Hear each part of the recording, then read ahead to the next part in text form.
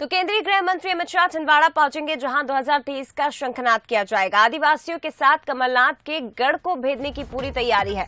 इस दौरे को लेकर बंसल न्यूज़ पर प्रदेश अध्यक्ष वी शर्मा ने कहा कि शाह के आने से छिंदवाड़ा की राजनीति बदल जाएगी। 2023 और 24 की तैयारियाँ हैं, लेकिन बड़ी बात यह है कि भारतीय जनता पार्टी के तमाम शीर्षस्थ लीडर, प्रधानमंत्री नरेंद्र मोदी, जेपी नड्डा, केंद्रीय गृह मंत्री अमित शाह मध्य प्रदेश में है। ज़ाहिर है कि कुछ तो नया चल रहा होगा और कुछ नया करने की तैयारी होगी। बेटे क्या कुछ नया करने की तैयारी है? देख रहे प्रधानमंत्री भी दो दो बार आ जाएँगे। एक को आएँगे, फिर सुन रहे चौबीस को भी आने वाले जेपी नड्डा साहब आ ही रहे हैं, अमित शाह जी भी आ रहे हैं। तो क्या ये माना जाए गुजरात की तर्ज पर मध्य प्रदेश में कुछ नया करने की तैयारी? ये मध्य प्रदेश का सौभाग्य है। भारतीय जनता पार्टी के कार्यकर्ताओं का सौभाग्य है कि हमें दुनिया के सर्वाधिक लोकप्रिय नेता माननीय नरेंद्र मोदी जी का आशीर्वाद समय समय पर मिलता है। माननीय अमित शाह जी जो एक ताकतवर नेता हैं एक ऐसा नेतृत्व जो जिसे भारतीय राजनीति का आधुनिक चाणक्य कहा जाता है। वो मध्य प्रदेश की धरती पर पधार रहे हैं। क्या छिंदवाड़ा भी बदलने वाला अब छिंदवाड़ा पूरी तरह बीजेपी का होगा जैसा आप लोग की तैयारियाँ हैं मैंने वहाँ चल के आपके साथ देख... बदलने वाला नहीं है बदल गया है। छिंदवाड़ा अब किसी का गढ़ नहीं है। छिंदवाड़ा अगर किसी का गढ़ है तो प्रधानमंत्री नरेंद्र मोदी जी के गरीब कल्याण की योजनाओं के हितग्राहियों का गढ़ है। अमित शाह जी का किस तरह का दौरा रहने वाला? आचलगढ़, वहाँ का जनजातीय क्षेत्र का हमारा श्रद्धा और आस्था का केंद्र है।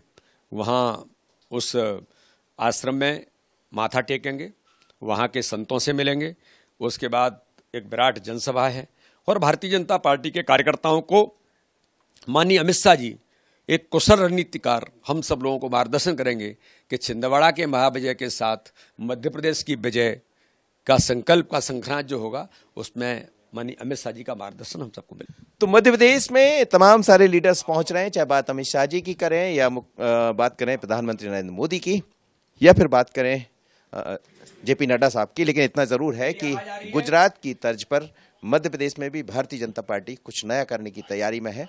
कितना होगा? पर यह ज़रूर है कि जो तैयारियाँ दिखाई दे रही है वो तो यही कहती है, आशीष खरे के साथ मनोज सैनी बंसल न्यूज़ भोपाल केंद्रीय गृह मंत्री अमित शाह छिंदवाड़ा दौरे पर रहेंगे। 2023 चुनाव का शंखनाद किया जाएगा और छिंदवाड़ा सीट इसलिए भी बीजेपी के लिए महत्वपूर्ण हो जाती है क्योंकि यहाँ पर सात विधानसभा सीटें आती हैं, जो कि कांग्रेस के पक्ष में है। इस सातों विधानसभा सीट फ़िलहाल कांग्रेस के पास है।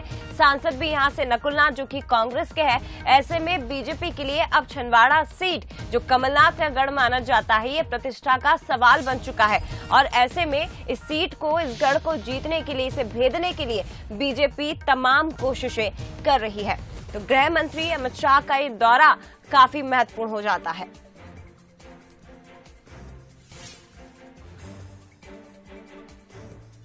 तो पुलिस ग्राउंड में आमसभा को संबोधित किया जाएगा।